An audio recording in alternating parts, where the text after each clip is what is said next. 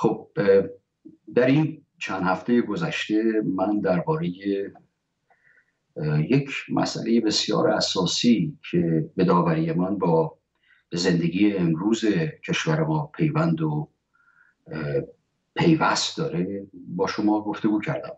پیرامون نیاز به یک نوع رفرماسیون دینی در ایران نیاز به رفرم در فقه شیعی فقه اسلامی به طور کلی و به ویژه برای ما ایرانیان که بیشتر ایرانیان شیعی مذهب هستند فقه شیعی و دست دادن به یک رشته دگرگونی های اساسی در نگرش به حقوق در جامعه ایران.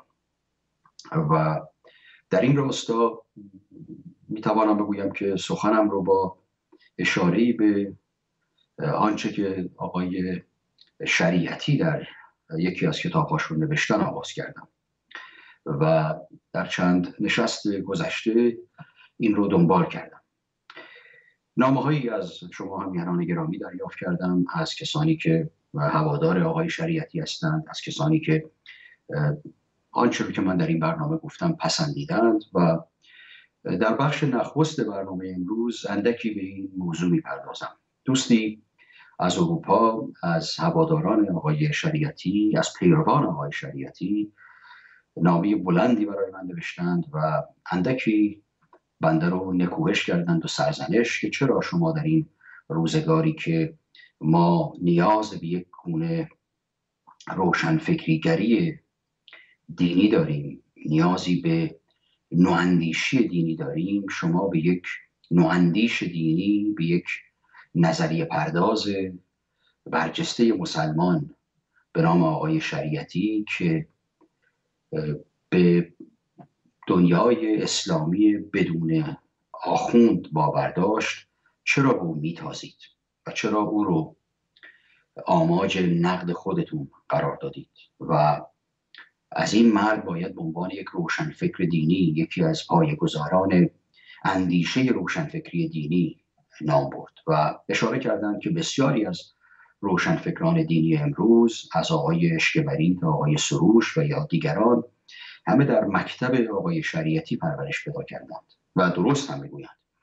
بسیاری از این بزرگان امروز که خودشون رو روشنفکر دینی می‌خوانند یا روشنفکران مسلمان هستند و جایگاه برجسته هم در میان بخشی از مردم ایران دارند اینها در مکتب اندیشه شریعتی پرورش پیدا کردند. این رو هم باید بیافزایم در اون هنگامی که شریعتی در تهران سخنرانی می‌کرد و در حسینی ارشاد هزاران نفر به سخنان او گوش فرا می‌دادند و این سخنان نوار می‌شد و در سرتاسر سر ایران پخش میگردید صدای او گفتار او یک تنین بسیار گسترده داشت. هواداران بسیاری در پیرامون آقای شریعتی گرد آمده بودند. و به همین دلیل هم است که در گذشت نابهنگام او رو به پای سازمان امنیت نوشتند که هیچ ما مدرک و سندی در این مورد نداریم که آیا چنین چیزی بوده یا نبوده. گمان نمی کنم بوده باشد ولی در اون دوران رسم و روال روزگاری بود که هر کس از مخالفان حکومت که کشته می‌شد یا در میگذشت و حتی اگر تصادف ساده هم کرده بود یا سرما خورده بود یا سکته کرده بود و در میگذشت می‌گفتن کار سامت بوده. در مورد تختی همه می‌دانیم که چنین نبوده. امروز همه دلایل خودکشی تختی بر همگان آشکار است ولی گفتن که تختی رو در واقع کشتن و این طبیعت کشورهای خودکام است. البته در کشورهای دموکراتیک هم در کشورهای آزاد هم تئوری توطعه روان و پذیرفته در میان بخش کوچکی از مردم هست. ولی در کشورهای مانند ایران یا هر کشور خودکامه دیگری از آنجایی که همه رسانه ها رو دولت کنترل می‌کنه این رسانه غیر رسمی شایعات دارای توان بسیار بسیار زیادی است نیرومند هست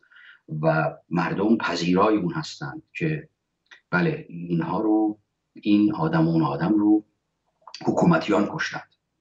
که البته چنین کارهایی را می‌کردند نه اینکه نمی‌کردند. ولی همه اونهایی که در گذشتند کشته شدگان حکومتی نبودند. این البته رسمی است که از دیرباز پذیرفته شده بوده. هیچ یک از امامان شیعی به کهنسالی در نمیگذشتند. همه شهید می شدند حتی اگر هشتاد سالم زندگی کرده باشند یا آخوندهای برجسته و نامآور همه شهید شده بودند.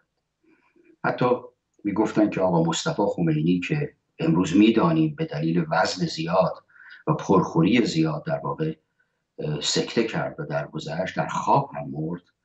ایشان رو می‌گفتن ساواک سم داده و زهر داده و کشته و چیزهایی از این دست که می‌دانیم دروغ بوده. حتی پدر آیت الله خمینی رو که بر سر درگیری ما زمین با گروه دیگری در خمین کشته شد. گفتن رضا شاه دستور داده در راه خمین و عراق او رو کشتن. این رسم پذیرفته شده در کشور ماست و فعلا هم از این گریزی نیست. اما از این اگر بگذاریم سخن بر سر این است که چرا من به نقد و به پرخاش به اندیشه های آقای شریعتی نشستم. و سخن دوستان این است که او در واقع یکی از پایه‌گذاران فکر و اندیشه روشن فکری نو در ایران هست. یکی از روشن فکران دینی در ایران به شما بیاید و بیشتر روشن فکران دینی از این سرچشمه فضیلت در واقع از این آبشخار از اینجا در واقع بهره می‌گیرند. از اینجاست که در واقع آب می‌خورند. یاد می‌گیرند. برای اینکه این موضوع رو روشن کرده باشم نخست باید ببینیم که روشن فکر در دنیای مدرن کیست.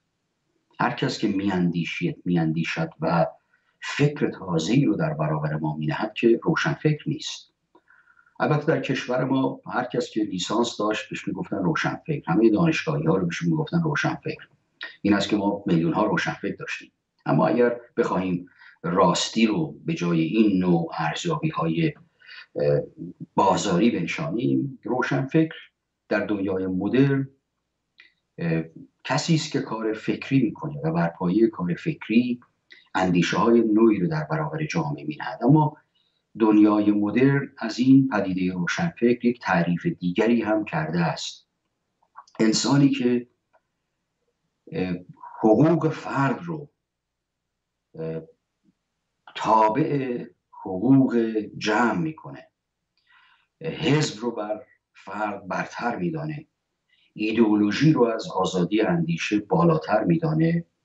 یا بر این باور است که انسان نخست مسلمان است و سپس انسان روشنفکر نمی‌تواند باشد.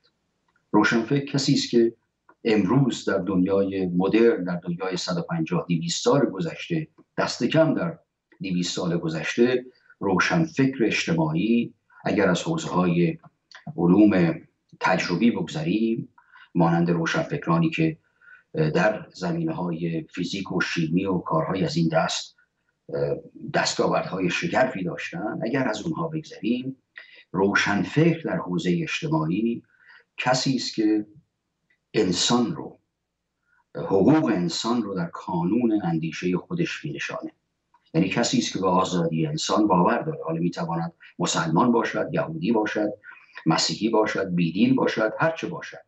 روشنفکر کسی است که نه تنها میاندیشه و اندیشه خودش رو میپراکنه و در برابر دیدگان مردم مینهه بلکه روشنفکر کسی است که این اندیشه نو رو برای برتری و برجسته کردن حقوق انسان و جایگاه انسان مورد بررسی قرار میده ما در اتحاد جماهیر شوروی در دوران اوج قدرت استالین و پس از اون آدم های متفکر زیادی داشتیم. نویسندگان، پژوهشگران، انسانهایی که دارای فکر و اندیشه تازه حتی بودند. و کارهای بسیار برجسته هم برای حزب و کشورشون انجام دادند. ولی اینها روشن فکر به شمار نمی آمدند اینها نوهندیش شاید برای کار حزبی خودشون بودند. شاید اندیشه ورز بودند. ولی روشن فکر به مفهوم کلاسیک کلمه به مفهوم مدرن و پذیرفته شده امروزی نمی‌توان به کسی مانند آقای سوسولوف گفت که تئوریسین حزب کمونیست اتحاد جماهیر شوروی بود و کسی بود که بیشتر رهبران حزب کمونیست اتحاد جماهیر شوروی از او اندرز می‌گرفتن از او یاد می‌گرفتند او یک تئوریسین بود نظریه پرداز بود. ولی برای حزب نظریه پردازی می‌کرد.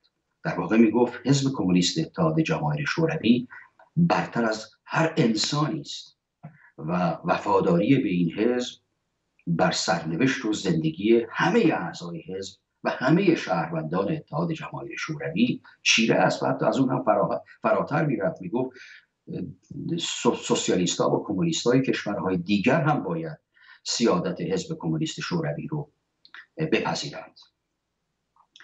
فردی مانند دیویتروف که دبیر کل کومینترن بود آدم بسیار نواندیش و خوشندیشی بود. نظریه های تازه رو برای پیشرفت و پیشبرد سوسیالیسم و کمونیسم عنوان می‌کرد. ولی برای پیشرفت و پیشبرد سوسیالیسم و کمونیسم نه برای اطلاع حقوق انسان. و همه حقوق انسان رو تابع دولت سوسیالیستی دولت کمونیستی و اتحاد جماهیر شوروی و حزب کمونیست اتحاد جماهیر شوروی و از اون برتر پولیتبرو و رهبری حزب کمونیست اتحاد جماهیر شوروی می‌دانست. در اون دوران هیچ کس نمی توانست اندیشه یا داوری در کشور روان کند که بیرون از داوری یا بیرون از چهار دیواری داوری های رفیق استالین بوده باشد استالین درگیر کل حزب بود. رهبر پولیتبرو رهبر حزب رهبر کشور بود و به ویژه بعد از پس از جنگ جهانی دوم و پیروزی اتحاد جماهیر شوروی بر آلمان هیتلری دیگر به جایگاه خدایی رسیده بود. آدم هایی که پیرامون او اندیشه هایی رو عنوان می‌کردند نوشته های بسیار توانایی رو در برابر مردم می نهادند توانا در چارچوب اون اندیشه اینا روشنفکر نبودند اینا کارکنان اندیشهای حزب بودند. اینا کارمندانی بودند که برای حزب کمونیست شوروی و برای بزرگ کردن اندیشه های کمونیسم آسیایی میکوشیدند.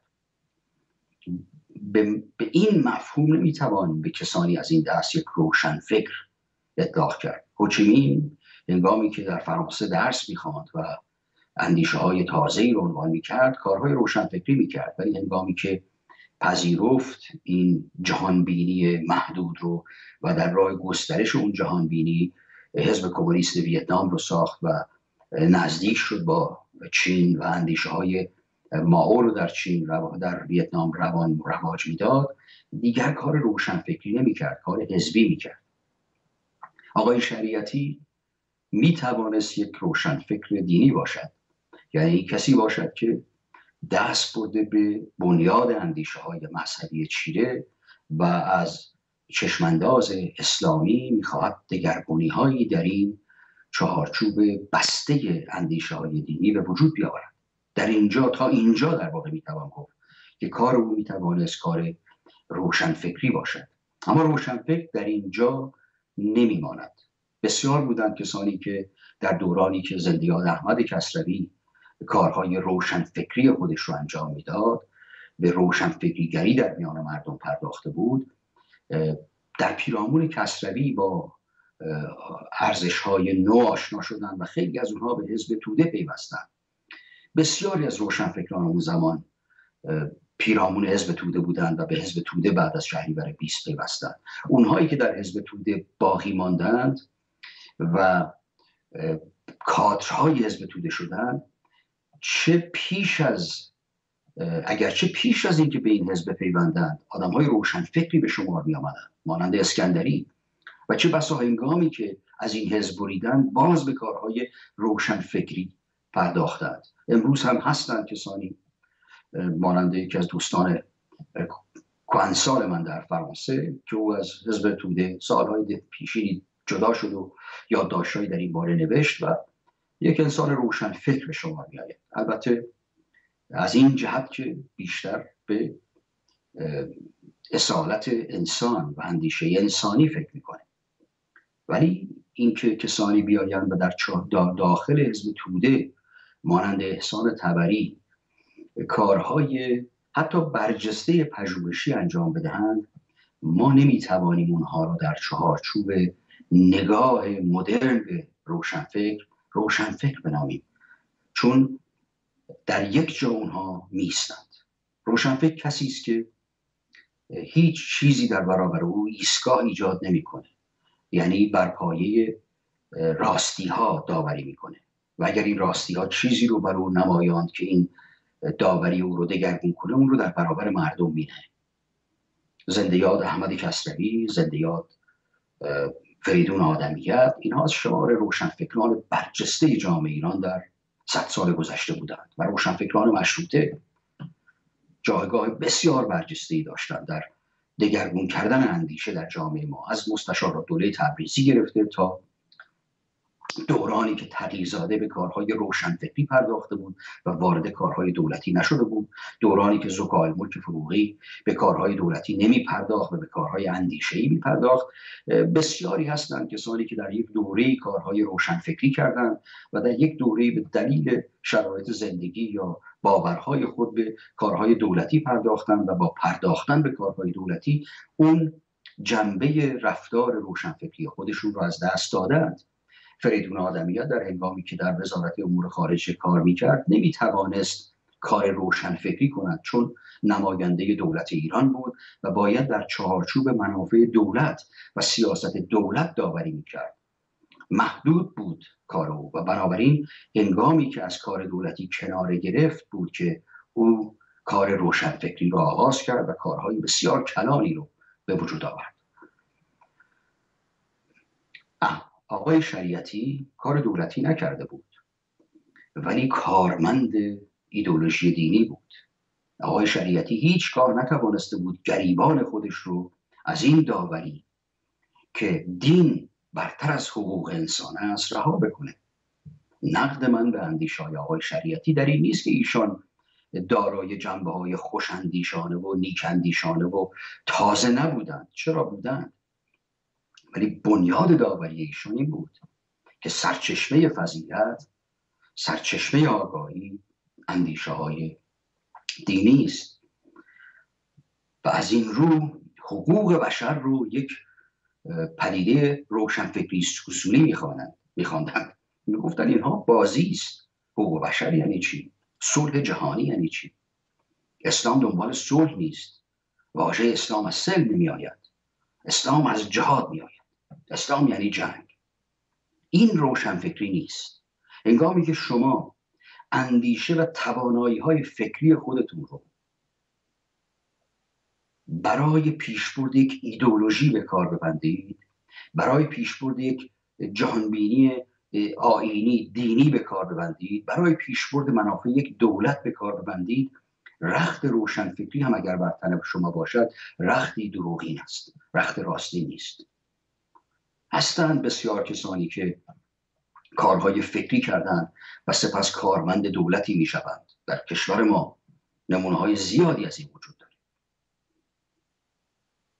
وقتی کارمند دولت می شوند یا سناتور انتصابی می شوند یا وزیر معارف می شوند در اون دوره اون جنبه آزاد روشنفکری خودشون رو محدود می در دوره از تاریخ ما هست که روشنفکرانی نوهندیشانی وارد کار دولتی شدند و توانستند حتی در کار دولتی هم اون اندیشای روشنفکرانی خودشون رو به کار ببرند. مانند نمونه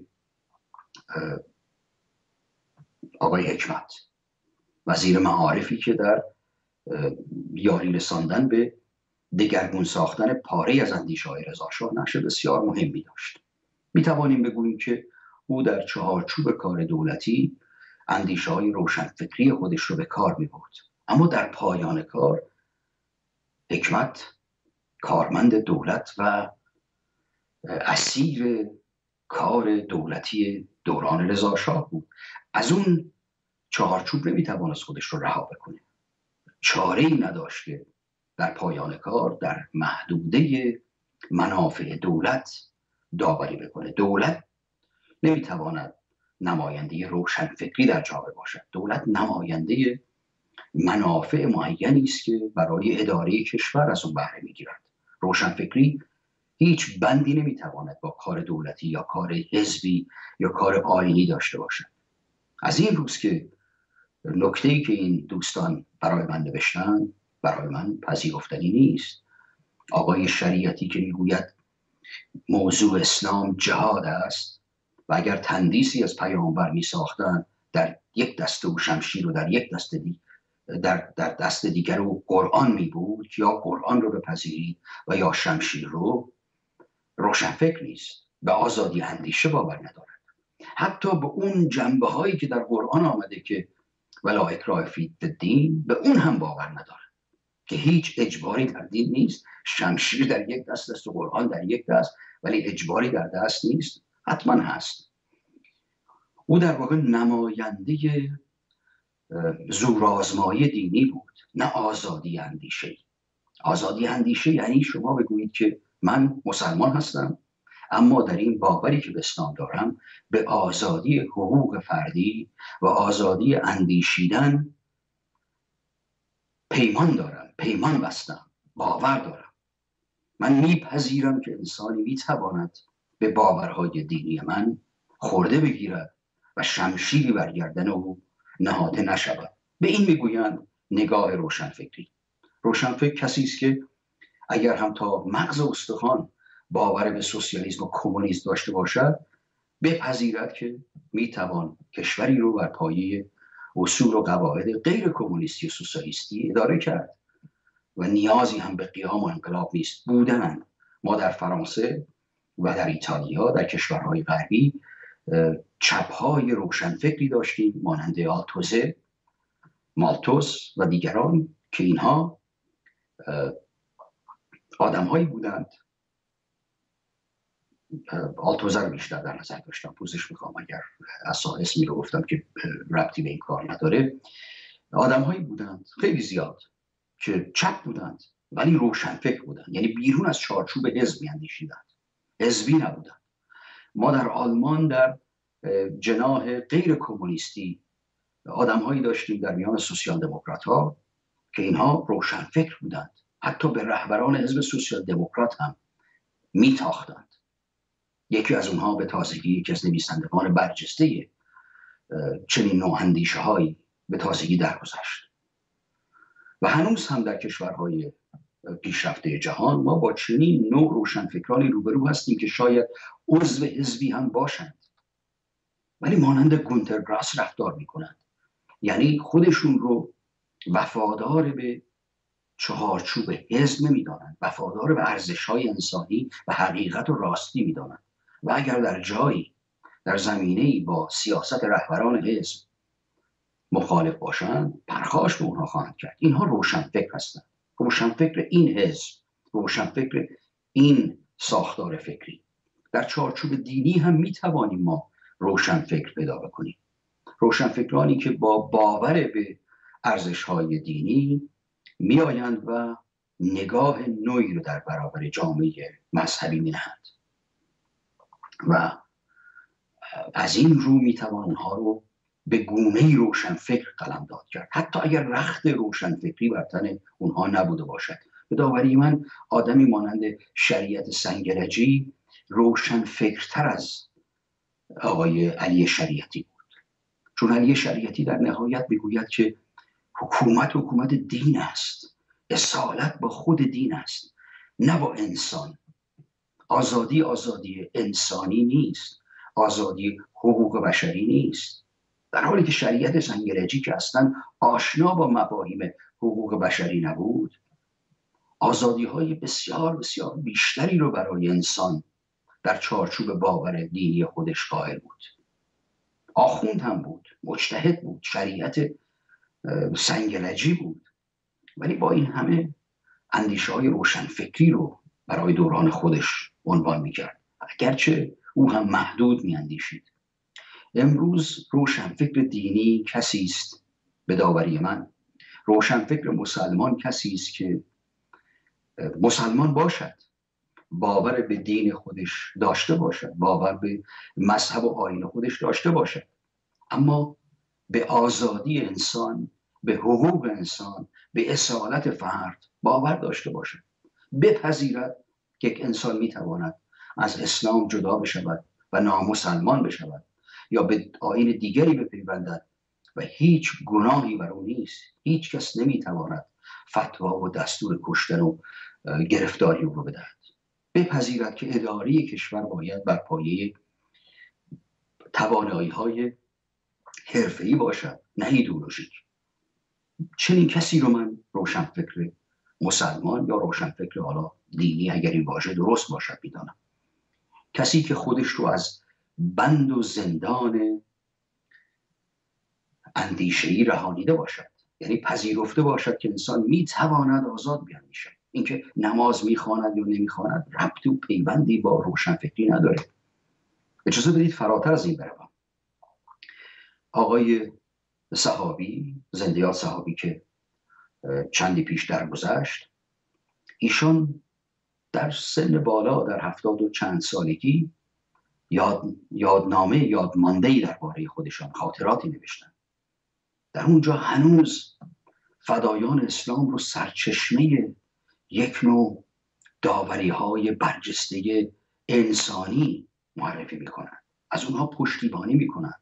می‌گویند که اینها انسانهای فداکار و برجسته بودند. چگونه می‌تواند کسی خودش رو روشن فکر بخواند؟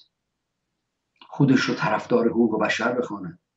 و از گروهی پشتیبانی بکند و گروهی رو برجستی بکند که نماد تروریسم و آدمکشی در ایران بودند.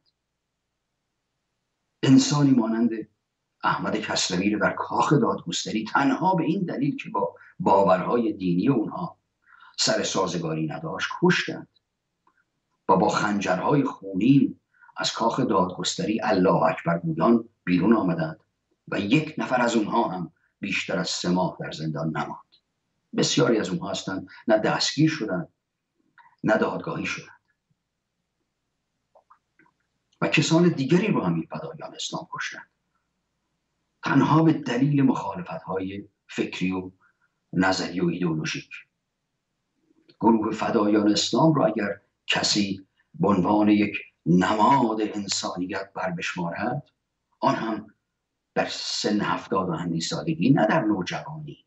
که همه ما از این کجروی ها داشتیم. نه در سن 17 18 و 20 و 25 سالگی در 70 و 7 سالگی هنوز فدایان اسلام رو به عنوان یک نماد مقاومت و انسانیت بر بشمارد روشنفکر نیست. روشنفکر کسی است که افزون بر همه جنبه های دیگر نواندیشی و پرداخت به فکر تازه به اصالت انسان به حقوق انسان به آزادی انسان باور داشته باشه اگر شما به آزادی انسان آزادی فرد باور نداشته باشید خب شما روشن فکر نیستید. شما یک اندیشمندی هستید مانند هزاران کس دیگری که در درازهای تاریخ آمدند و حرفهای تازه مطرح کردند. هر یک از این رساله های عملیگری که شما بخوانید هر تفسیر حدیثی رو که شما بخوانید هر کتاب فقه روایی رو که شما بخوانید آخوندی آمده حرف نوعی رو بر حرفهای گذشتگان افسوده. اینها که روشن فکر نمی شود چون حرف نو آوردن تازه گفتن نسبت به گذشتگان. این تازگی باید در چهارچوب پدیده ای باشد که ما به اون حقوق انسانی می‌گوییم و فرد می‌گوییم. کسی که بر این باور باشد که انسانها رو می‌توان به دلیل برگشتن از دین فتوای کشتن اونها رو داد یا اونها رو از میان برد یا کسی که باور داشته باشد برای مسلحت حکومت برای مسلحت حزب برای منافع سوسیالیسم دولتی می‌توان انسانها رو کشت روشن فکر نیست. خسرو روزبه یک گروهی به وجود آورده بود در درون حزب توده که مخالفان رو میکشت. با همه مقاومتی که او نشان داد جایگاه برجسته که در مقاومت در زندان داشت. کارش که روشنفکری نبود. او ابزار اعمال اندیشه های حزبی استالینی بود. یاد او گرامی باد که مقاومت کرده است. اما اگر او به قدرت برسید کاری کمتر از رفتار استالینی انجام نمی‌داد. چون اندیشه او در این چارچوب محدود می بود آقای شریعتی اگر به قدرت می رسید چه بسا چوبه دار رو فراتر از کارهای خمینی برمیافراشت. من نمی‌دانم ولی از لابلای نوشته و کتاب های او پیداست که باوری به آزادی انسانی به حقوق بشر نمی داشت باوری به دموکراسی مدرن نمی داشت باور به این نمی داشت که انسان می تواند با آین و مذهبی مخالف باشه و همچنان از حقوق برخوردار. از این روی من در گزینش واژه روشنفکر بسیار پرهیزکار هستم و این واژه رو درباره هر کسی به کار نمی‌برم. اجازه بدهید که به برنامه که کارگردان ما آقای بهروز مشکیلیار فراهم کردهاند نگاه کنیم و در بخش دوم من به یک موضوع دیگری بپردازم که کلمه دیگری که بسیار دل مشغولی برای من در در این سی سال گذشته ایجاد کرده.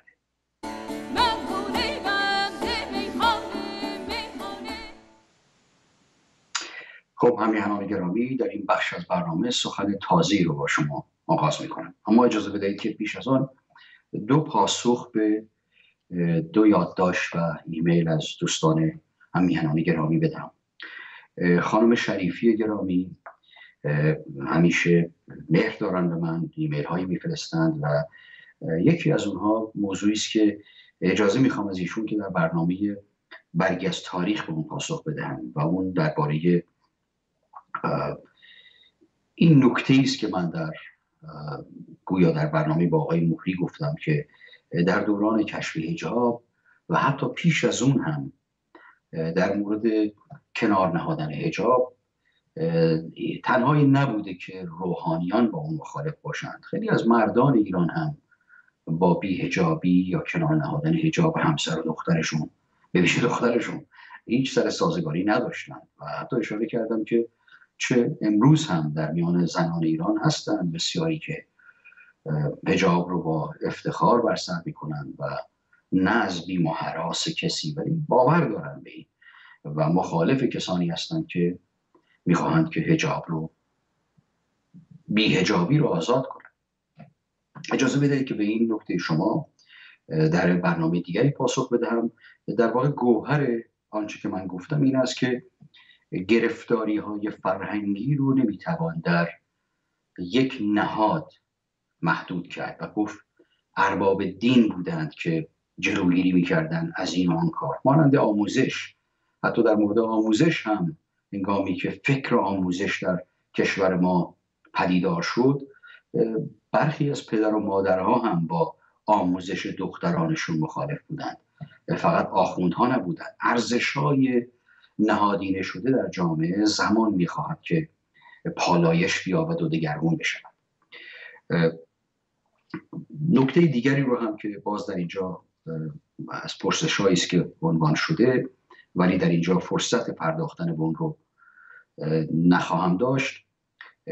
در زمینه یکی دو نفر از شخصیت های برجسته تاریخ گذشته ایران است که به اونها اشاره های گذرا کردم و به اونها نپرداختم. اجازه بدهید که به این موضوع در برنامه های آینده به در برنامه های برگشت تاریخ بیشتر بپردازم. آنچه که امروز می‌خواهم با شما گفتگو کنم و اشاره کردم در بخش نخست برنامه در پایان سخن نخست برنامه که دغدغه سی سال گذشته زندگی من بوده کوشش است که از سوی کسانی گروههایی به نام حقوق ملی و قومی در راستای پایان دادن به یک پارچگی ایران رو می‌دهد. ادعا هم می‌کنند که هوادار از میان بردن یک پارچگی ایران نیستند. هنوز این یک پارچگی رو می‌خواهند از خودمختاری در چارچوب یگانگی ایران سخن می‌گویند. ولی انگامی که می‌روید و گوهر اندیشای اونها رو بررسی می‌کنید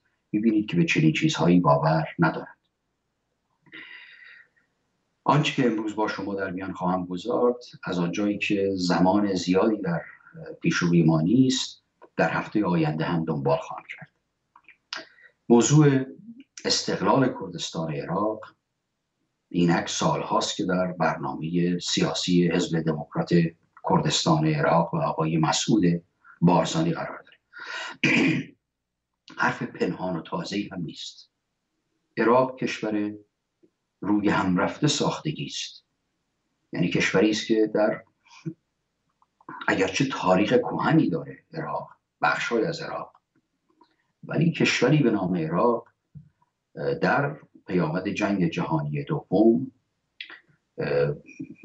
سرزمین های زیر فرمانروایی دولت عثمانی تکه پاره شد و دولت بریتانیا و فرانسه و چند کشور بزرگ دیگر نشستند و این چند پاره کردن سرزمین های پیشین عثمانی رو نهایی کردند. به همین دلیل هم بسیاری از کشورهای خاورمیانه جز ایران و خود دولت عثمانی پیشین یا ترکیه امروز مرزهایی دارند که با خطکش تعیین شده. مانند کویت عربستان عراق اردن حتی سوریه. و پس از اون هم در دوران تازه تری کشورهای امارات و عمان و قطر و دیگران. حتی به شوخی می‌گفتند که این رو در نوشته های خارجی ها انگلیسی زبان ها می‌توان دریافت.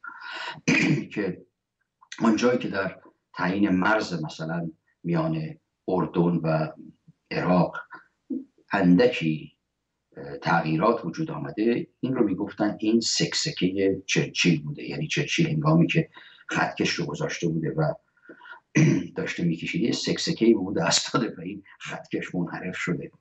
و حالا این رو باید به شوخی گرفت ولی راستی این است که مرزها رو با خطکش تعیین کردن. مرزهای طبیعی نیست. برخی کشورها مرزهای طبیعی دارند. مانند مرز ایران و جمهوری های جنوبی شوروی سابق در قفقاز که بخش زیادی از اون پیشتر از آن ایران بوده ولی هنگامی که جنگ دوم ایران و روس به پیمان ترکمانچای انجامید مرز طبیعی تعیین کردند. یعنی رودخانه عرس رو به عنوان مرز ایران و روسیه اون زمان و سپس شوروی و سرانجام هم امروز و جمهوری آذربایجان و ارمنستان و دیگر سرزمین های اون ناحیه قرار دادند. مرزهای سرزمین های غربی ایران آذربایجان و کردستان و خوزستان با عراق و ترکیه. اساسا مرزهای طبیعی ولی مذاکره شده است. یعنی در پیمان ارزروم و سپس در پیمانهای دیگری که مورد بررسی قرار گرفت میان ایران و عثمانی پیش از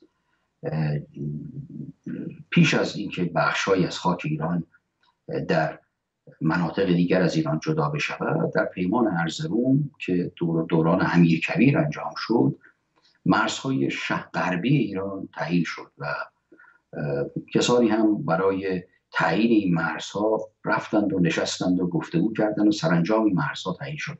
یک بخش های ناروشنی وجود می داشت که شاید یکی از دستاوردهای بسیار مثبت بسیار نیک دوران پادشاهی محمد شاه پیمان اروندرود بود که حق کشتیرانی و دارایی ایران رو بر بخشی از اروندرود ماندگار کرد. بسیار کار ارزشمندی بود در ادامه کار پیمان ارزون ارزرون ولی دولت عراق یک دولت نقش مهندسی شده بود. یعنی در سال هزار و در دوران پس از جنگ جهانی دوم در سال 1921 دولت بریتانیا از درون امپراتوری پیشین عثمانی چند کشور در آورد از جمله کلیددار کعبه رو دو فرزند کلیددار کعبه رو شریف کعبه رو آورد. هر دو از خانواده هاشمی بودند. چون بر این باور بود که اینها مورد پسند مردم شیعی اردن و عراق خواهند بود. اونها رو یکی رو پادشاه عراق کرد و دیگری رو پادشاه دو برادر. پادشاه اردن هاشمی. اردن هم همچنان نام هاشمی رو حفظ کرد.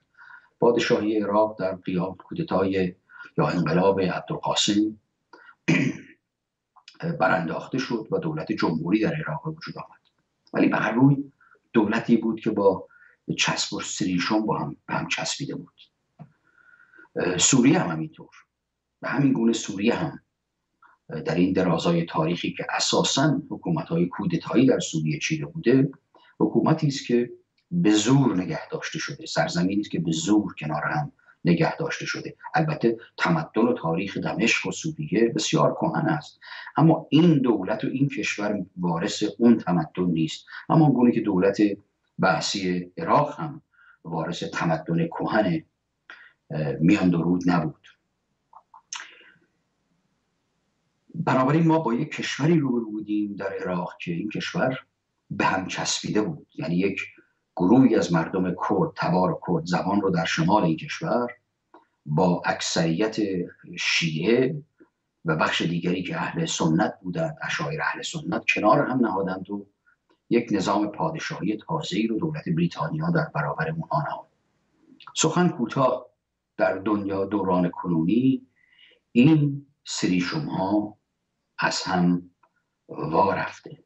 این چسب ها آب شده و بافت مصنوعی دولت های مانند عراق و سوریه و یا لیبی در حال از هم گسستن است.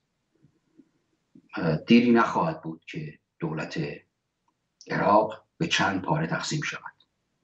در این راستاست که سخنان تازه آقای بارزانی مسئول بارزانی برای اعلام استقلال کردستان رو باید بسیار جدی گرفت. اما آنچه که می‌خواهم با شما در میان بگذارم و امروز زمان برای اون ندارم چون پیش گفتارم خیلی تراز شد در این است که آقای هجری آقای مصطفی هجری دبیر کل حزب دموکرات کردستان کردستان ایران در مراسم هفتادمین سالگرد تأسیس جمهوری کردستان هشت روز پیش در شهر اربیل سخنانی فرمودن که سخنان رو باید بسیار بسیار جدی گرفت. ایشان درباره جمهوری کردستان سخن گفتند و میراث جمهوری کردستان. میراث جمهوری کردستان رو گفتند که این میراثی است که ما هنوز دنبال می‌کنیم. ببینید در یک کشوری که پادشاهی مشروطه بوده در مهاباد و روستاهای پیرامونش جمهوری اعلام کردن و ایشان می‌گویند این مدلی است که ما می‌خواهیم دنبال کنیم یعنی استقلال از ایران. از این هم فراتر می‌روند. ستایش می‌کنن از اینکه در کردستان پرچم کردستان ایجاد شده بود. و پرچم که نمی‌تواند پرچم گروه باشد کشور دارای یک پرچم است. و جمهوری مهاباد آقای محمد قاضی پرچم درست کرد. وزیر دفاع داشت. وزیر دفاعش همین پدر آقای مسئول بارزانی ملا مصطفی بارزانی بود. ایشان در این سخنرانی ملا مصطفی بارزانی رو به عنوان نمادی از مبارزه و مقاومت می‌خواند. فرصت زیادی امروز من ندارم به این بپردازم. نکته من این است که دست کم مسعود بارزانی با شهامت آرمان و چشمانداز خودش رو در برابر مردم عراق نهاده می‌گوید که ما می‌خواهیم مستقل شویم. ولی کسانی مانند آقای هجری حزب دموکرات کردستان ایران گروه دیگری کومله و دیگر گروه های فرقی و ایلیاتی کرد سربسته این رو مطرح می کنند ولی از آرمان فرقه از آرمان جمهوری مهاباد پشتیبانی می کنند یعنی خواهان جدا شدن بخشی از ایران از خاک ایران هستند. اجازه بدهید که در برنامه هفته آینده تمام برنامه رو من به این بپردازم که آیا به راستی ما زمینه ای برای جدا کردن کردستان از خاک ایران داریم؟ آیا به راستی کردستان در تاریخ دست کم 400 500 ساله گذشته ایران زیر ستم ملی بوده؟ آیا کردستان بر کردستان ایران همان رفته که بر کردستان عراق بر کردهای عراق؟ آیا چنین داوری می‌تواند جایگاهی در ساختار دموکراسی سازی آینده ایران داشته باشد. اجازه بدید هفته آینده من همه برنامه رو به بررسی اندیشه های حزب دموکرات کردستان سودای اونها برای جداسازی کردستان از ایران اندیشه های به دروغ می‌گویند خود مختاری ولی در واقع استقلال طلبانه اونها به اختصاص بدن به اون بپردازم. تا هفته آینده روز و روزگار بر شما خوش